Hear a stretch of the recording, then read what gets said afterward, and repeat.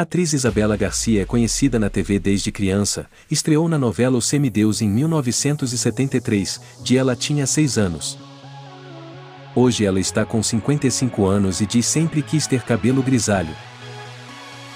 Tem quatro filhos, João Pedro Bonfá, filho do baterista do Legião Urbana, Marcelo Bonfá. A segunda filha, chama-se Gabriela ela é fruto do relacionamento do segundo casamento de Isabela com o fotógrafo André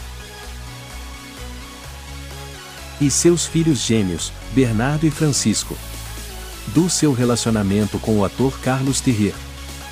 A atriz também já tem dois netos, ambos filhos de João Pedro e Luísa, nascida em 2011 e Izzy, nascido em 2017.